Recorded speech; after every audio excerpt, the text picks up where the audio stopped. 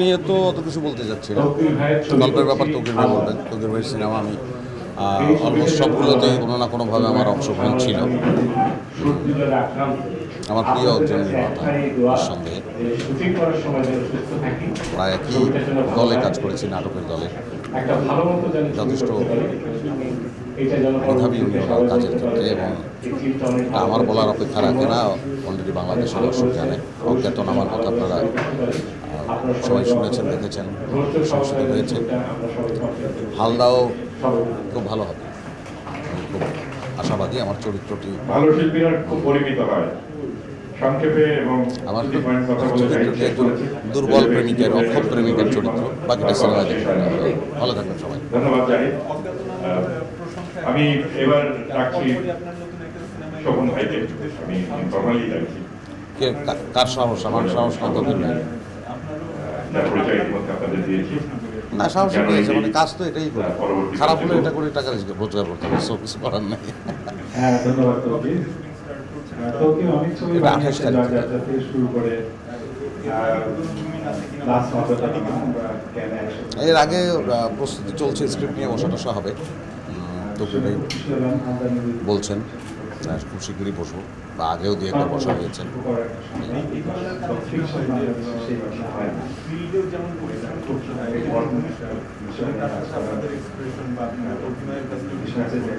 যে কোনো ছবিতে পরিশ্রম লাগে পরিশ্রম ছাড়া পরিশ্রমটা না থাকলে কাজটা খারাপ হয় পরিশ্রম লাগবে পরিশ্রম হলে কাজটা ভালো হবে পরিশ্রম এবং মেধার সঙ্গে হ্যাঁ যেহেতু করি নাহলে এটা করে খাচ্ছি কী করে? হ্যাঁ, কেউ বুঝতো না জিজ্ঞেস করতো না।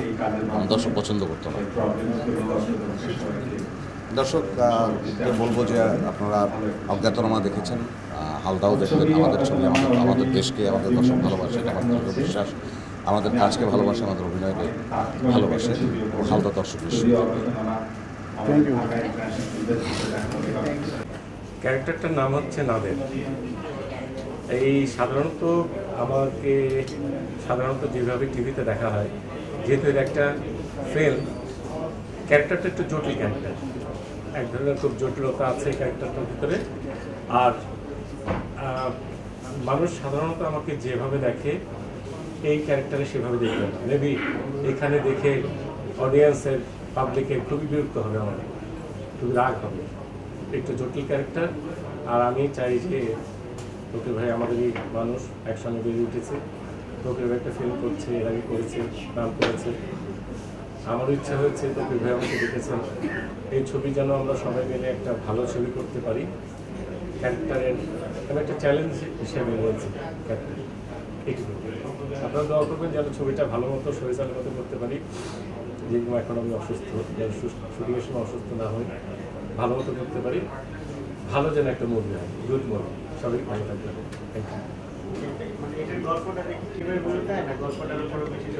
না? না একটা ভালো একটা ভালো জিনিসের সঙ্গে থাকলে ভালো জিনিস হয়। সব সময় ছোট মাছের ভিতরে একটুখানি বড় মাছ হয়ে লাভ নেই। যখন অনেকগুলো বড় মাছ থাকবে, ওর ভিতরে একটুখানি বড় মাছ হলেও লাভ নেই। যখন একটা ভালো গল্প, ভালো ফিল্ম ভালো জিনিস হবে, একটু আগে আপনি হালদা সম্পর্কে শুনলেন। এই ছবির সম্বন্ধে রিসার্চ হয়েছে ঠিক মতো এসছে। আর মানুষ আমাকে সবসময় এক ধরনের দেখতে দেখতে আমি তো একজন অভিনেতা হতে চাই। আমি তো শুধু হিরো বা অন্য কিছু হতে চাই না। একজন অভিনেতা যখন হতে চাই, তখন এক এক ধরনের অভিনেতা আমি করতে চেষ্টা করি। পারি কি পারি না সেটা পরের ব্যাপার বাট আমি ট্রাই করি সেটাই ট্রাই করব। ইনশাল্লাহ যদি হয়, তখন খারাপ হলে আপনারা বলবেন খারাপ হয়েছে। ভালো হলে বলবেন ভালো হয়েছে। তাহলে গুড জেস্টারটা দেখবেন যে আমি ট্রাই করেছি। একটু করতে পারি। সেই জায়গাটা একটু পেরে মানে এই ফিল্মটা কি পরিবেশের রক্ষার্থে বা নদীটাকে রক্ষার্থে কোনো পজিটিভ আসলে হয় কি একটা ছবি দেখার পর এটা তো ডকুমেন্টেশন না। ডকুমেন্টেশনে থাকে যে এটাকে ভালো হবে এটা খারাপ হবে এটা হবে। আপনারা ফিল্মটাকে ফিল্মের মতো দেখার চেষ্টা করবেন। আপনারা যদি ফিল্মের ভিতর সব শিক্ষা চান তো বই পুস্তক নিয়ে বসে থাকেন ছবি দেখেন না। একটা ছবির ভিতরে সব কিছুই থাকবে, এটাকে আমি মনে করি। আর ডিরেক্টরের ছবি ভালো বলতে হবে। আপনি অ্যাক্টর হিসেবে আমি যেটা চাই, যেটা বলতে চাই যে ইটস এ ফিল্ম ফিল্মের ভিতরে আপনি ওয়ার্ল্ড ক্লাস ফিল্মের ভিতরে সব পড়াশোনা পাবেন না। ঠিক আছে? এটা ফিল্ম আকারে দেখলে ভালো হবে। ঠিক thank you thank you Halda ফিল্মে অবশ্যই একটা মেয়ের ক্যারেক্টারে পাচ্ছেন। অবশ্যই একটা মেয়ের ক্যারেক্টারেই পাচ্ছেন। ক্যারেক্টারটার নাম হাসু। যতটুকুন বলা যায়, খুব সাহসী একটা ক্যারেক্টার, খুব সাহসী একটা টিনেজ মেয়ের ক্যারেক্টার, যে অনেক প্রতিকূলতা থেকে নিজেকে বাঁচিয়ে চলতে শিখেছে এবং চলে সে। এরকম একটা ক্যারেক্টার, অনেক সাহসী একটা ক্যারেক্টারে আপনারা আমাকে পাবেন মানে এই ক্যারেক্টারটাকে পাবেন। আগের ক্যারেক্টার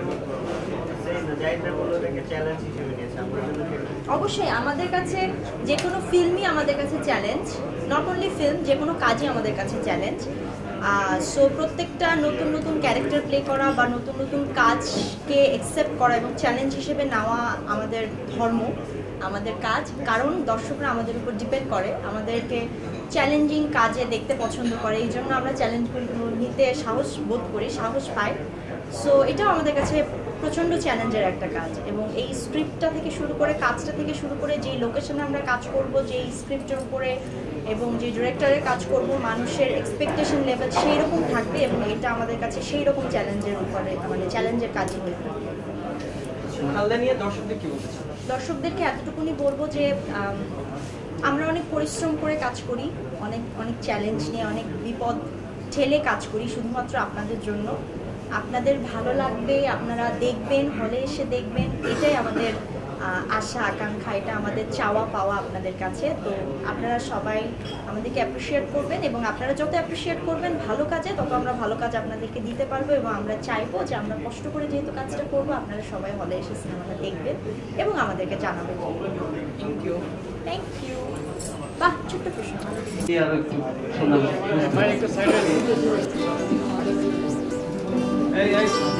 আসলে বাংলাদেশের ফোকের যে ভান্ডার, আমার মনে হয় না পৃথিবীর আর কোনো দেশে এত বড় ভান্ডার আছে। তো এটা একটা অপূর্ব সুযোগ আমার জন্য ফোকটাকে বাংলাদেশের মানুষের কাছে আরও মানে বেশিতর যেন পৌঁছে যায়, এই জন্য।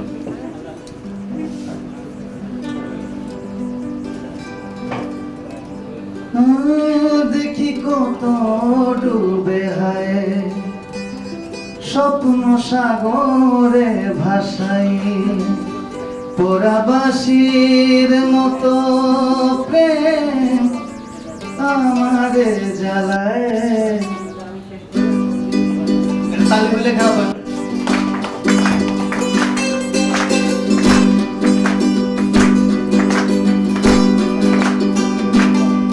দেখি কত ডুবে হায় স্বপ্ন সাগরে ভাসাই পোড়াবাসীর মতো প্রেম আমারে জ্বালায়।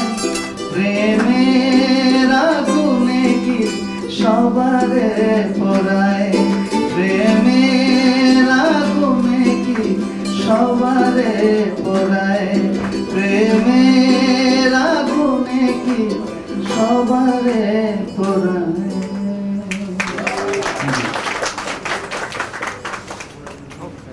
অসংখ্য ধন্যবাদ।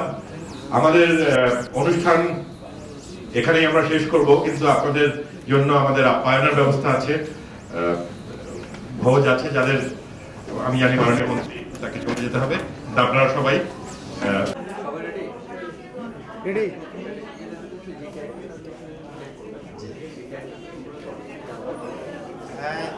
এই ছবিটার নাম হচ্ছে হালদা। তো হালদা সম্পর্কে আমরা অনেকেই কম বেশি জানি। সেটা হচ্ছে হালদা একটা নদী, যেখানে মোটামুটি মাছের প্রজনন হয়। এবং সেখানে মাছ ধরার ক্ষেত্রে কিছু বিধিনিষেধ আছে। আমি হচ্ছে সেই হালদার একদম পারে যে জেলে পরি জেলে সম্প্রদায়, সেই জেলে আমার এই সন্তান হচ্ছে যে চরিত্রটি করছে ঈশা। এই মাছ ধরা নিয়ে এবং পরিবারের নানান টানাপোড়েন আছে এর সেই চরিত্রটি আমার আসলে আমি হচ্ছে হালদাকে আসলে প্রতিনিধিত্ব করি এখানে।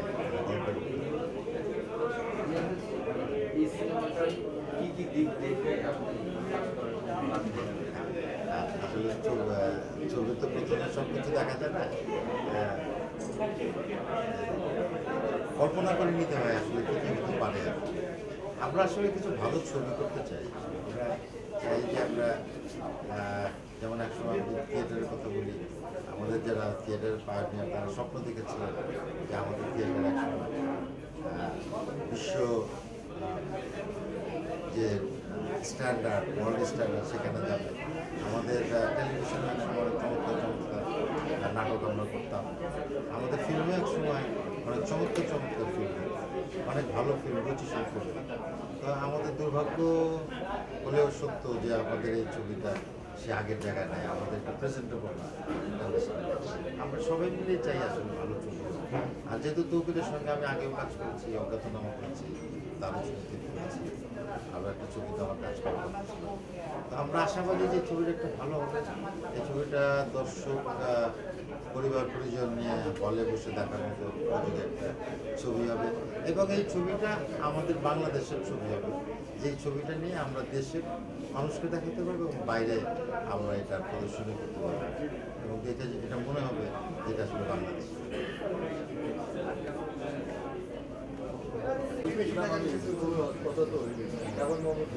আল্লাহ আমার পঞ্চম চলচ্চিত্র? এই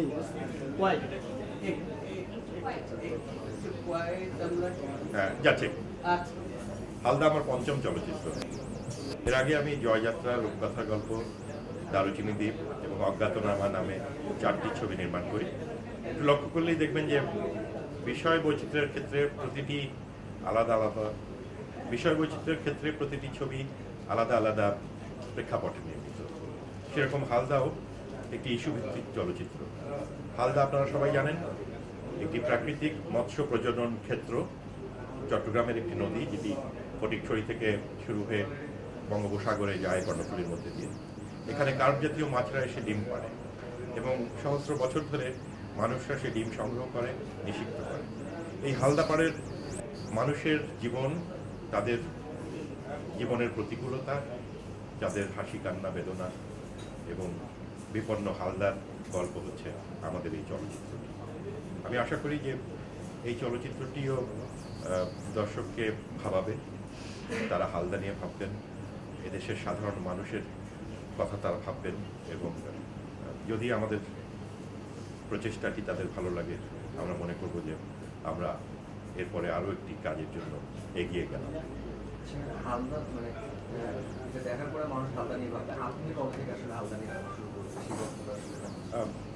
এটা আমি শুনি আমাদের যিনি প্রযোজক এইচ এম ইব্রাহিম ওনার সংগঠন আমরা কজন। ওনারই এক বন্ধু যার নাম হচ্ছে আপনারা এখানে দেখছেন যে আজাদ বুলবুল যিনি এই গল্পটি প্রথমে লেখেন।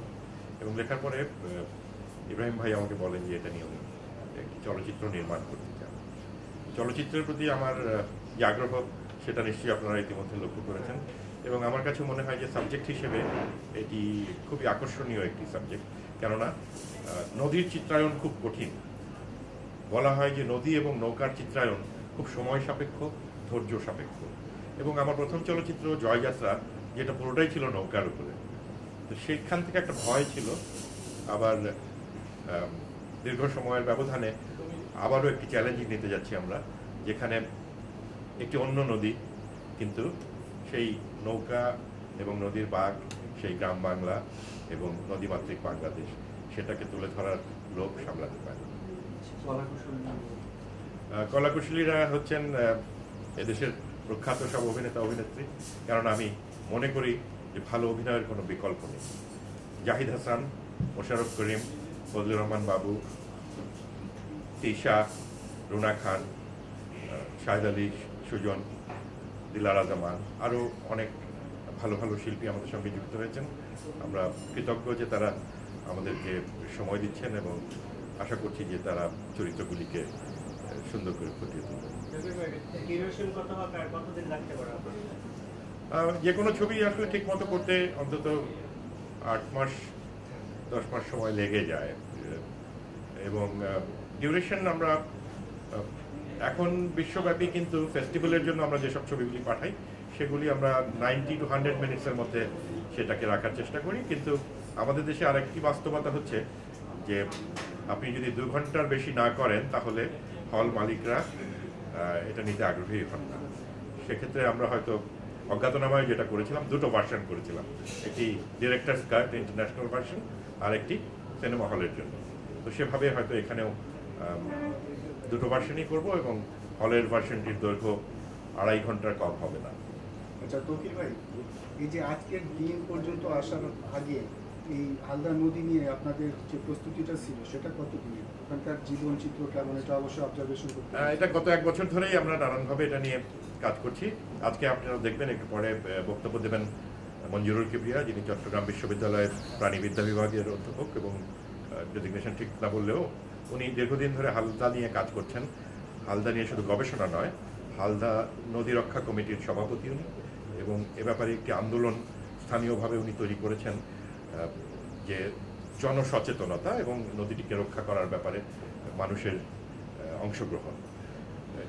এই যে ওনাদের যে গবেষণালব্ধ জ্ঞান, সেটিও আমরা পাচ্ছি এবং তারা আমাদের সঙ্গে দলে কাজ করছেন, আমাদেরকে নানানভাবে সহযোগিতা করছেন এবং আপনারা শুনলে খুশি হবেন যে আমরা যখন আলদাপাড়ে ইতিমধ্যে আমাদের অনেকবার যাওয়া হয়ে গেছে এবং স্থানীয় লোকরা আমাদেরকে বাসায় নিয়ে দুপুরে খাইয়েও দিচ্ছেন আর কি।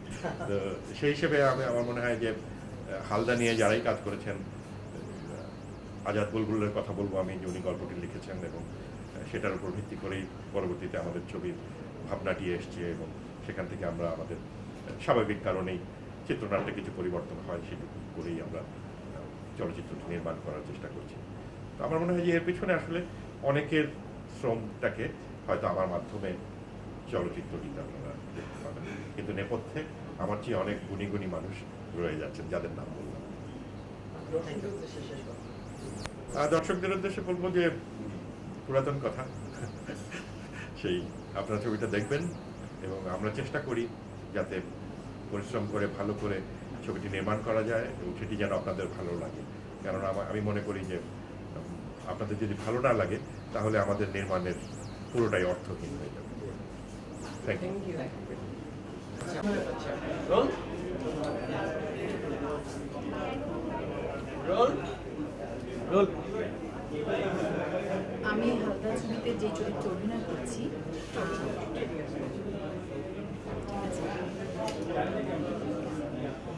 হালদা ছবিতে আমি যে চরিত্রে অভিনয় করছি, সেই চরিত্রটির নাম জুই গ্রামের খুব সহজ সরল একটা মেয়ে খুব অল্প বয়সে বিয়ে হয়। আমার স্বামীর চরিত্রে অভিনয় করছেন জাহিদ ভাই, জাহিদ হাসান। মানে এই এই ছবি আসলে আমি যদি একটু সংক্ষেপে বলতে চাই, তাহলে ছবির মূল বিষয়টাই হচ্ছে নদী এবং নারীর সম্পর্ক।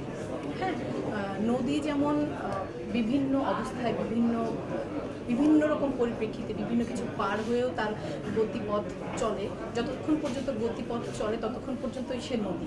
যখন থেমে যায়, তখন কিন্তু সে আর নদী থাকে নারীর নারীর ক্ষেত্রেও ঠিক নদী এবং নারীকে একাত্ম করে এরকম একটা বিষয় নারীর জীবন কীভাবে তুলে ধরা হয়েছে এখানে জুই একটা সময় নির্যাতিত হয় পরিবারের দ্বারা, স্বামীর দ্বারা, শাশুড়ির দ্বারা। তার উপর নির্যাতন চালানো হয়, অত্যাচার চালানো হয়। আবার একটা পরিস্থিতিতে গিয়ে যখন নিজের প্রয়োজন হয়, তখন আবার সেও অন্য কাউকে তার নির্যাতনের শিকার করে। এরকম একটা চরিত্র আসলে মানুষের জীবনের বিভিন্ন সময়ে মানুষ মানে একটা সময় আসলে অন্যদের দ্বারা শোষিত হয়, আবার কখনো কখনো মানুষ নিজের প্রয়োজনে অন্যের উপর সেই শোষণটাও চায় এইরকমই একটা চরিত্রে আমি অভিনয় করছি আগেই বলেছি আমার চরিত্রের নাম জুই। তৌকির ভাইয়ের পরিচালনায় এটা আমার প্রথম ছবি। আমি অত্যন্ত আনন্দিত এবং আহ, আনন্দিত চিত্তে তৌকির ভাইকে ধন্যবাদ দিতে চাই আমাকে এমন একটি চরিত্রে নির্বাচন করার জন্য। ধন্যবাদ পেয়েছে মাছের মৎস্য প্রজনন ক্ষেত্র হিসাবে। এটা শুধু বাংলাদেশের নয় বিশ্বের একমাত্র জোয়ার এবং যেই পদ্ধতিতে ডিম সংগ্রহ করা হয় ডিম ফোটানো অনেকেই প্রশ্ন করে হালদাটা কি? তখন আমি তাদেরকে বলি যে হালদা একটি নদী। তখন তারা বলেন যে এটি কি একটি ডকুমেন্ট একটি ফিকশন কিন্তু আমরা এমন ফিকশন নির্মাণ করতে চাই যেখানে সৎ চলচ্চিত্র হিসেবে টিকে থাকার যোগ্যতা অর্জন করবে না। আমি সম্মানিত সুধীবৃন্দ আসসালাম তৌকির তার সবগুলো ছবিতে আমি অভিনয় করেছি। হালদাতে এখন পর্যন্ত আমাকে ডাকিনি আমি অপেক্ষা করছি। হ্যাঁ, হয়তো করতেও পারি না করলে ভালো ছবি হবে। চট্টগ্রামের মানুষের লাইফ লাইন যেটা বলা হচ্ছে। ধন্যবাদ ধন্যবাদ। আহ, বলেন আমাদের। আসসালামু আলাইকুম। ঈদের রেশ এখনও যায়নি তাই ঈদের শুভেচ্ছা জানাচ্ছি সবাইকে এবং আমাদের মাননীয় মুখ্যমন্ত্রীকে যা ব্রিফিং দিলেন একটু আগে প্রথম এসে বোঝা গেছে এটি খুব একটি কঠিন পদক্ষেপ এবং একটি উত্তম পদক্ষেপ। নদী আমার অন্তর থেকে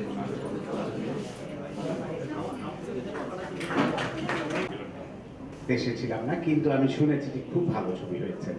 আমি অনেকের কাছে শুনেছি।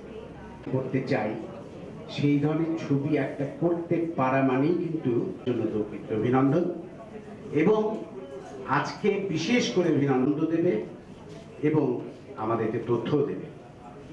তবে থেকে আরেকটি চমৎকার ছবি আমরা পেতে যাচ্ছি তৌকিরকে আবার অভিনন্দন।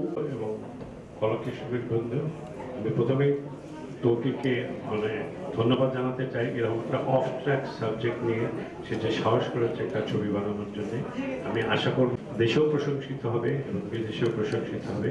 আমি এই ছবির সাফল্য তার সঙ্গে আপনাদের পরিচয়। পরিচালক সমিতির সম্মানিত সভাপতি দেলোয়ারজান ঝন্টু প্রযোজক সমিতির নির্মাণ হচ্ছে আজকে হালদা সারা বাংলাদেশের হয়তো অনেকেই হালদাকে চেনে। আমি এবার আমন্ত্রণ জানাব আমাদের অন্যতম প্রধান শিল্পী একজন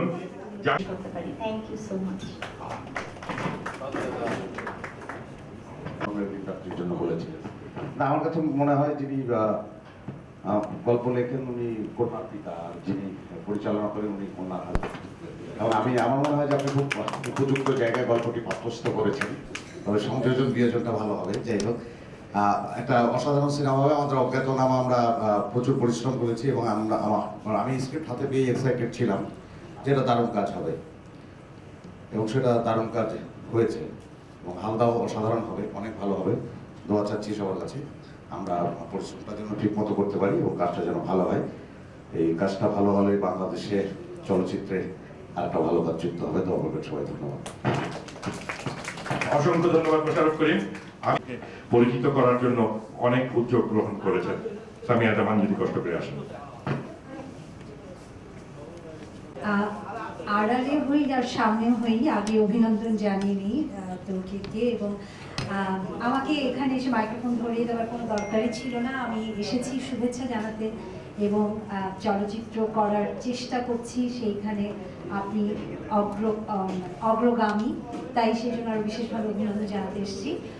এখানে মাননীয় তথ্যমন্ত্রী উপস্থিত আছেন এবং অন্যান্য মোর্শেদুল ইসলাম এবং অন্যান্য যারা আছেন, সবাইকে আমরা সবাই একই কাজে এখানে এসেছি। চলচ্চিত্রকে ভালোবেসে বলেই তো এত কিছু আজকে যখন শুনলাম, এই, অনুষ্ঠানটা হচ্ছে তোকে বলে, অবশ্যই এসেছি। এবং আমরা যদি সবাই একসঙ্গে সব ব্যাপারে পরস্পরকে সমর্থন দিই যে যতটুকু পারি চেষ্টা করি, সাহায্য করার, নিশ্চয়ই আমাদেরই তাতে উপকার হবে। আর একটু করে তোকে যেটা বললেন যে সত্যি আমাদের বাইরের বিশ্বের কাছে আমাদের চলচ্চিত্রকে তুলে ধরার জন্য এখানে এরই মধ্যে অনেক সফল সাফল্য পেয়েছেন অনেক চলচ্চিত্রকার। তিশা আছে পারুকের কথাও বলছি। তিশা নিজেও সফলভাবে বাইরে গেছে তাকে হিসেবে অনেকেই চেনে অনেক জায়গায়, কিন্তু আমার মনে হয় আমাদের আরও কিছু করার আছে। মাননীয় তথ্যমন্ত্রী আছেন বলব আমাদের আমাদের তথ্য মন্ত্রণালয়ের পক্ষ থেকে এবং চলচ্চিত্র শাখা থেকে আমাদের এগিয়ে এসে বোধহয় আরও কিছু করার আছে, সেই বিষয়ে আমি কাজ করতে চাই, আপনাদের সবার সমর্থন কামনা করছি। আর একাত্তর টেলিভিশনের পক্ষ থেকে বলি যে আপনার চলচ্চিত্রের বিষয়ে কোনো ধরনের সমর্থন যদি আমরা দিতে পারি, দিব। আমি জানি যে আমাদের প্রকৃতি বিষয়ক অনেক কাজ আছে আমাদের চ্যানেলে শুনছিলাম কথা যে এরই মধ্যে আমরা এটা নিয়ে কাজ করেছি, ভবিষ্যতেও করব আশা করছি। এই চলচ্চিত্র যখন হবে, সেই সময় আমরা একাত্তরের পাশে থেকে কাজ করেছি। ধন্যবাদ। অসংখ্য ধন্যবাদ, সামিয়া রহমান। আমরা আমাদের বক্তব্য মোটামুটি গুছিয়ে এনেছি। এরপরে আমি মাননীয় মন্ত্রীকে অনুরোধ দিকে বসে আছে, সবাই আপনারা চ্যানেল থাকে এবং তাদের।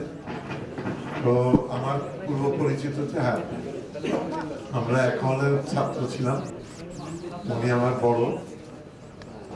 তো আমরা যখন ওনাকে প্রথম নাটকের মঞ্চে দেখলাম, তখন আমরা ভাবলাম এবং অন্যদেরকে বলার চেষ্টা করলাম, ঢাকা বিশ্ববিদ্যালয়ের ছেলে মেয়েদের সাংস্কৃতিক চর্চাটা তোমাদের একা না আমরা বুয়েট- বুয়েটের লোকরা পারে।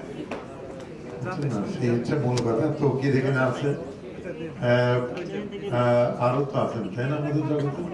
অনেক আছে। গানও গাইতে পারে। কপি করি তো মানে স্থাপ- স্থপতি একজন যতদূর জানি আর কি। তো দেখ হায়াত ভাইকে চিনি আর সবাইকে চিনেছি। এর চলার পথে হাঁটতে হাঁটতে চলতে চলতে সংগ্রামে, সংগ্রামের বাইরে, শান্তিতে, যুদ্ধে আর সবাইকে চিনেছি। আর নতুন প্রজন্মে যারা আছে, তাদেরকেও শুভেচ্ছা, অভিনন্দন।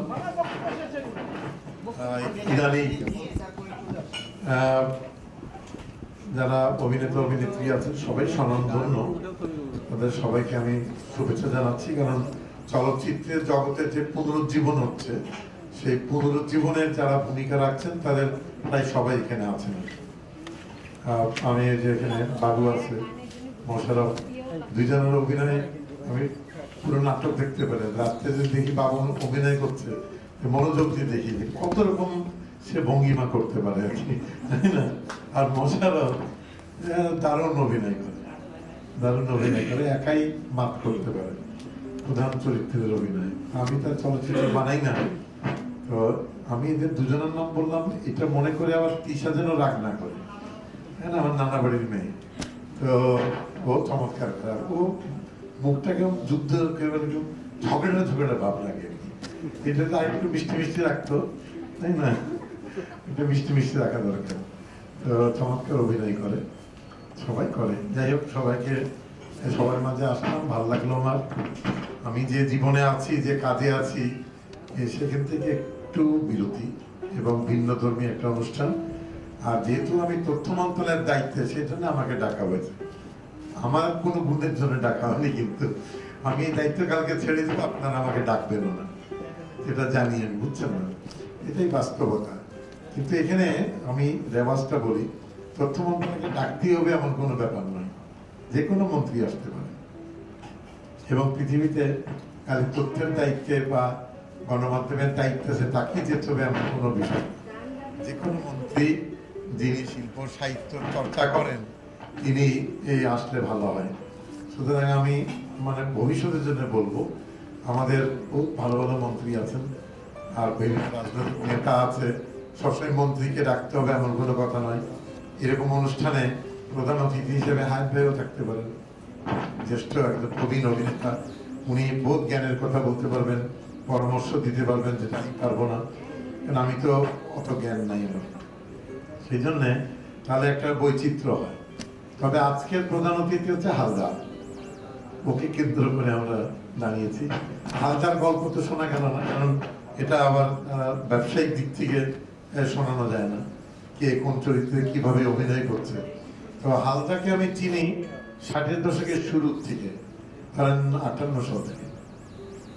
হালদা নদী দেখেছি। হালদার উপরে যখন সেতু হলো, ব্রিজ হলো সেই ব্রিজ নির্মাণ দেখেছি, সেই ব্রিজের উপর দিয়ে গাড়ি চালিয়ে এসেছি। চট্টগ্রাম চন্দ্রকোনা যতবার করেছি, হালদা নদীর উপর দিয়ে গিয়েছি। এবং তখন থেকেই আমি জানি যে হালদা নদীতে পোনা মাছের চাষ হয় আর কি। তো বিষয়টা অত বুঝতাম না, কিন্তু হালদা নদীটা আমার কাছে পরিচিত, পূর্ব পরিচিত। সুতরাং কর্ণফুলী নদীও পরিচিত। কর্ণফুলীতে আমি লঞ্চে করে, চট্টগ্রাম চন্দ্রকোনা করেছি, পাঁচ ঘণ্টা ছোট ছোট লঞ্চে করে চন্দ্রকোনায় গিয়েছি, রাস্তা হয়ে গিয়েছে, তারপরে আর নদীতে যাইনি। কাপ্তাই, বাঁধ, আর সেটাও একটা সমস্যা, কর্ণফুলী নদীর জন্য। সবই আমার চোখের উপর দিয়ে হয়েছে তার মানে আমি চাটগাইয়া না কিন্তু। আমি চট্টগ্রাম, পার্বত্য চট্টগ্রামে বড় হয়েছি। সেই সুবাদে আমি চট্টগ্রাম, পাহাড়, পরি পর্বত, নদী, নালা, সবকিছুই কম বেশি জানাশোনা আছে। আর থাকতাম পাহাড়ের ভেতরে। তো আমি বহুত সময় চিন্তা করেছি যে আমাদের পাহাড় পর্বত নিয়ে কতটুকু আমাদের চলচ্চিত্র জগতের মাথা ঘামানো হয়েছে। খুব একটা ঘামানো হয়নি। আমাকে যখন ইব্রাহিম সাহেব আমার সহকর্মী, সংসদের উনি যখন বললেন যে হালদা নদীর উপরে, আমি ঠিক বুঝলাম না জিনিসটা। তারপরে এখন দেখলাম যে জিজ্ঞেস করলাম পূর্ণদর্গ চলচ্চিত্র তোর কি এখানে মাথা ঘামাচ্ছে? এখানে তিশা, মশারু সাহেবরা কাজ করতেছেন চমৎকার। আমি সুযোগ পেলে ছবিটা দেখার চেষ্টা করব যে হালদার মধ্য দিয়ে হালদা নদীকে রক্ষা করার একটা খবর মনে দেওয়ার চেষ্টা করবেন যেভাবেই হোক হালদা নদীর আশেপাশের জীবনযাত্রাকে ফুটিয়ে তোলার চেষ্টা করবেন। যাই হোক আপনারা যখন মিলিত হয়েছেন, এই মুহূর্তে পৃথিবীতে চারটা বিষয় নিয়ে মাথা ঘামাচ্ছে সবাই। একটা হচ্ছে তথ্য যোগাযোগ প্রযুক্তি, কম্পিউটার কম্পিউটার সায়েন্স। দুই নম্বর হচ্ছে পরিবেশ। সারা পৃথিবী ওই পরিবেশ। পরিবেশ বাঁচাও পরিবেশ বাঁচাও। তাই না? আর তিন নম্বর হচ্ছে দারিদ্র। দারিদ্রকে ছুঁড়ে ফেলে দিতে হবে। দারিদ্রকে উড়িয়ে দিতে হবে। এটাও কিন্তু সব জায়গার থেকে। এমনকি আমেরিকার নির্বাচনে সবচেয়ে সমৃদ্ধ দেশ, সেখানে রাষ্ট্রপতি, এই পদপ্রার্থীরা, তারাও চিৎকার করে বলে, আমেরিকাকে দারিদ্র মুক্ত করে দিব। বস্তি মুক্ত করে দিব এরকম ভাষণ আমি শুনেছি। যখন ক্লিন্টন সাহেব প্রথম নমিনেশন পেলেন, তো সেই সভাতে আমার থাকার সৌভাগ্য হয়েছিল ম্যাডিসন। সুদূর আমেরিকা থেকে টোকিও পর্যন্ত। এই জঙ্গি সন্ত্রাস এই চারটা সবচেয়ে আলোচিত বিষয়। এবং এই চারটা চলচ্চিত্র বিষয় যদি মনোযোগ দেন পৃথিবীকে মানব সমাজকে যদি সামনের দিকে নিয়ে যেতে হন আরও সমৃদ্ধ যদি করতে চান, আরও সুষম যদি করতে চান দারিদ্র মুক্ত করতে হবে। এবং তথ্য যোগাযোগ প্রযুক্তির প্রয়োগ করতে হবে। আরও নিরাপদ যদি করতে চান, তাহলে জঙ্গি সন্ত্রাসকে দমন করে দিতে হবে। সুতরাং এই যে চারটে বিষয়, চারটা যুদ্ধ, এই চারটা যুদ্ধের ভিতর দিয়ে পৃথিবী যাচ্ছে, আমরাও যাচ্ছি, বাংলাদেশ, আমরাও এই চারটা যুদ্ধের ভিতরে আছি। আমি এই কথাগুলো কেন বললাম?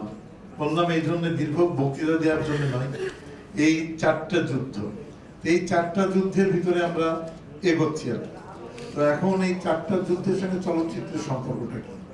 আমি রাজনৈতিক কর্মী, আমার দায়িত্ব হচ্ছে রাজনৈতিকভাবে, প্রশাসনিকভাবে, রাষ্ট্রীয়ভাবে এই চারটা বিষয়ে নীতি তৈরি করা, আইন তৈরি করা, পদক্ষেপ গ্রহণ করা। কিন্তু সেখানে আমি বলি যে হ্যাঁ এটা কি শুধু আমারই কাজ একার? আমার একার কাজ না। রাষ্ট্র তো চোর ডাকাতকে মেরে ধ্বংস করে দিতে পারে। কিন্তু চুরি করার মানসিকতা এই মানসিকতা পরিবর্তন করবে কে? ডাকাতি করার মানসিকতা। রাষ্ট্র তো নারীর গায়ে হাত দিলে ধরে জেলে পড়ে দিতে পারে, ফাঁসিও দিতে পারে। কিন্তু নারী নির্যাতন না করার মানসিকতা, নারীকে সম্মান করার, এই মানসিকতা রাষ্ট্র তৈরি করতে পারছে না। এই জায়গাটায় সাংস্কৃতিক চর্চা আসে, চলচ্চিত্রের ভূমিকা আসে, সেই জায়গাটায় আসে। সেজন্য আমি বলি যে সমাজের ময়লা পরিষ্কার করে দিব আমরা, জঙ্গি দমন করে। রাষ্ট্রীয়ভাবে। কিন্তু হৃদয়ের ময়লা পরিষ্কার করতে হলে চলচ্চিত্র এবং সংস্কৃতির চর্চা করতে হবে। সুতরাং যদি হৃদয়ের ময়লা আমি এই সাম্প্রদায়িকতা মুক্ত না করতে পারি, ময়লাটা দূর না করতে পারি, আবার দেখবেন যে আবার সেই সেই সমাজের ময়লাগুলো আবার মাথা চাড়া দিয়ে উঠবে, জমবে, ধুলো, ধুলোবালি জমবে। সেজন্য সম্ভবত পিকাসও বলেছিল মনে হয় যে সংগীত চর্চা কি? সংগীত চর্চা হচ্ছে হৃদয়ের উপরে জমে থাকা ধুলিকণাকে পরিষ্কার করে দেয়। সম্ভবত পিকাসো মনে হয় বলেছিল। তো এই যে ধুলিকণা, প্রতিদিন চাপিত জীবনের ধুলিকণাটা যে জমতে থাকে হৃদয়ের উপরে, মনের উপরে, সেই ধুলিকণাটাকে ছিটিয়ে দূর করা, পরিষ্কার পরিচ্ছন্ন করার দায়িত্ব ক্রমাগত ধারাবাহিক সাংস্কৃতিক আন্দোলন এবং সাংস্কৃতিক চর্চা। চলচ্চিত্র সবচেয়ে শক্তিশালী গণমাধ্যম। এর কোনো বিকল্প নেই। সুতরাং চলচ্চিত্রের জগতে যারা আছেন, আপনি কবিতা শুনতে পারেন, কান দিয়ে। কিন্তু চলচ্চিত্র অনেক কথা আছে, শব্দ আছে, গান আছে, সবকিছু আছে, ছবি আছে। কিন্তু চলচ্চিত্রের ভিতরে একটা অভিনেতা বা একটা অভিনেত্রী চোখের চাহনির ভিতর দিয়ে একটা খবর দিতে পারে কিন্তু। সেটা আমি যখন গান শুনব গানে, সেটা পাবো না কিন্তু। তাই না? সুতরাং আপনি যে বেজার হচ্ছেন মানে হাসি একটা হাসি হাসিটা কেমন? তার উপরে কিন্তু আপনার মানে একটা খবর চলে যায় কিন্তু। মানে প্রতিপক্ষের কাছে। কান্না, বেজার মুখ, বিষণ্ণতা, নীরবতা এই সবকিছুই আমি চোখে দেখে খবর। সবকিছুই ভাষায় বলতে হবে না। পরিচালক মুন্সিয়ানা শিখে নেই যে নায়ক, নায়িকা মানে কীভাবে তার দেহভঙ্গিমার মধ্য দিয়ে একটা খবর দিয়ে দিবে তার রাগ প্রকাশ করবে। রাগের জন্য কুত্তার বাচ্চা শুয়োরের বাচ্চা হলে গাল দেওয়ার দরকার নাই, তাই না? রাগ প্রকাশের মধ্য দিয়ে এ প্রতিপক্ষ বুঝবে যে ইনু সাহেব রেগে গিয়েছে এখন, তাই না? তো এই যে চলচ্চিত্র, এই জায়গাটায় পরিচালকের মুন্সিয়ানা কত কম কথা খরচ করবেন? আর কত নায়ক নায়িকার অভিব্যক্তির মধ্য দিয়ে এই আপনার মুখ ছামটার মধ্য দিয়ে আপনি একটা খবর দিয়ে দিবেন? একটু আগে আমরা অনুদানপ্রাপ্ত ছবি এটা দেখছিলাম ওখানে দেখি, জয় বাংলা স্লোগান দিতেইছে দিতেইছে তা হাত ধোয়ার মতন হাত ধুতেই থাকবে, হাত ধুতেই থাকবে, হাত ধুতেই থাকবে। আমি বললাম আমি তবে বুঝি না। একবার ঠিক আছে, প্রাসঙ্গিক যুদ্ধের পটভূমিতে। তাহলে একবার জয় বাংলা দিয়ে যান। এতবার জয় বাংলা কেন তাই না? মানে কান ঝালাপালা হয়ে গেল। তা আমারই যখন বিরক্তি লাগল, তখন তো অন্যতর বিরক্তি লাগবে। যে জাতীয় সংগীত দেখাল। জাতীয় সংগীত গেয়েই যাচ্ছে গেয়েই যাচ্ছে, আমার এটা কেমন হলো? খালি আমি ভালোবাসি এই একটা শব্দ বলেই কেটে দাও, অন্য জায়গায় চলে যাও। তাই না? করেছি। দিলীপ কুমার মধুবালার ছবি বাদ দিয়ে রাজা কবরের ছবি দেখেছি। সুচিত্রা উত্তমের ছবি বাদ দিয়ে এই ঢাকাতে আমি বসে বসে আমরা ইয়ের সুভাষ দত্তের ছবি দেখেছি। সুতরাং আপনার চমৎকার, বাবু, মোশারফ, কেন? আগে দর্শক টেনে রাখতে পারে, কোনো অসুবিধা নাই। তিশা এরা তো ভালো অভিনয় করে তো কিরো ভালো অভিনয় করে, জাহিদ তো ভালোই। খালি ওর ভরির দিকে থাকে। আমি আর বারবার বলি ওজন কমান ওজন কমান।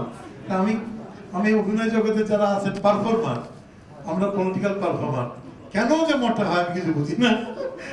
একটু খাওয়া দাওয়া নিয়ন্ত্রণ করলে তো হয়, তাই না? এটাই তো আপনি, এটাই তো আপনার সম্পদ, তাই না? একটু ইয়ে হয় আবার একজন আছে মোটা করে স্বাস্থ্যবান, আর মোটা বলা ঠিক না, স্বাস্থ্যবান, বিশাল।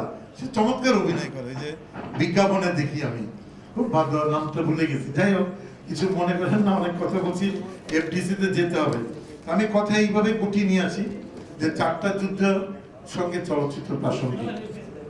আর এখানে এখন চলচ্চিত্র কিন্তু দারিদ্র নিয়ে কথা বলে, সমাজের কষ্ট নিয়ে কথা বলে, কিন্তু পরিবেশ, নদী নিয়ে চলচ্চিত্র খুব হয়নি। এই যে হালদা, আমি খুব আনন্দ, খুব খুশি হয়েছি যে হালদা নদী দূষণ, পঁচিশ তারিখে হচ্ছে আন্তর্জাতিক নদী রক্ষা দিবস। এই পঁচিশ সেপ্টেম্বর। পৃথিবীব্যাপী উদযাপিত হবে। আপনারা যে মহাশ্বাসকে সূচনা করছেন, সেখানে আমি এই বলব যে নদী ও পরিবেশকে বিষাক্ত বর্জ্যমুক্ত রাখতে এবং রাজনীতি ও সমাজকে জঙ্গি সন্ত্রাস মুক্ত রাখতে চলচ্চিত্রের ভূমিকা রাখার জায়গা আছে। এবং সেই জায়গা থেকে আমি আপনাদের এই অনুষ্ঠানে এসেছি যে চলচ্চিত্র যে ভূমিকা রাখবে, সেই ভূমিকাটা চলমান রাজনীতিকে আরও গভীর করবে, গতিশীল করবে, সুন্দর করবে। প্রিয় বন্ধুরা আমার, আপনারা আবারও বলি আমি, আমাদের সরকার এবং প্রশাসন সমাজের ময়লা দূর করার জন্য প্রশাসনিক পদক্ষেপ নিতে পারবে, কিন্তু হৃদয়ের ময়লা দূর করতে হলে সাংস্কৃতিক চর্চা এবং চলচ্চিত্রের চর্চাটা বেগমান করতে হবে। মনে রাখতে হবে, উন্নয়নের ঘাটতিও দূর হবে, রাজনীতির ঘাটতিও দূর হবে। যে সাংস্কৃতিক ঘাটতি যদি ঘটে যায়, তাহলে কিন্তু সমাজ আবার পড়ে পড়ে পড়ে যাবে। সেই জন্যে আমাদের উন্নয়নের ঘাটতি দূর করার জন্যে, রাজনীতির ঘাটতি দূর করার জন্যে, দার্শনিক ঘাটতি দূর করার জন্যে আমরা উদ্যোগ নেব। কিন্তু সাংস্কৃতিক ঘাটতি দূর করার জন্যে আপনারাই সামনে থেকে নেতৃত্ব দেবেন। সেই কামনা করে হালদা ছবিটি পরিবেশ, পরিবেশকে দূষণমুক্ত রাখতে ভূমিকা রাখবে, নদীকে দূষণমুক্ত রাখতে ভূমিকা রাখবে, সেই কামনা করে আমি আপনাদের শুভযাত্রা আহ, অভিনন্দন জানাচ্ছি এবং শুভ সূচনা ঘোষণা করছি। সবাইকে ধন্যবাদ। সবাই বাংলা